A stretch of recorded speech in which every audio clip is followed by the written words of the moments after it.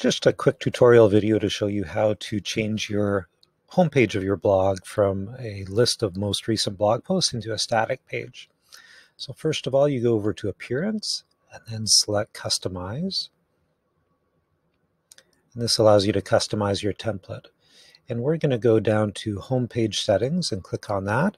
And you can see here it has your latest post is selected, so that's your latest blog post will show up.